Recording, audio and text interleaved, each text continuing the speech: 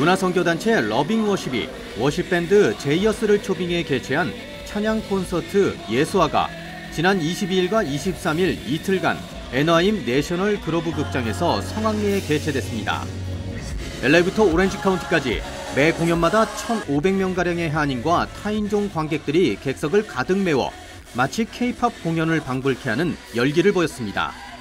러빙워십은 콘서트의 성공적인 마무리로 앞으로 타 지역 관객들과도 멋진 호흡을 할 수 있을 것이라며 다음 공연에 기대감을 높였습니다.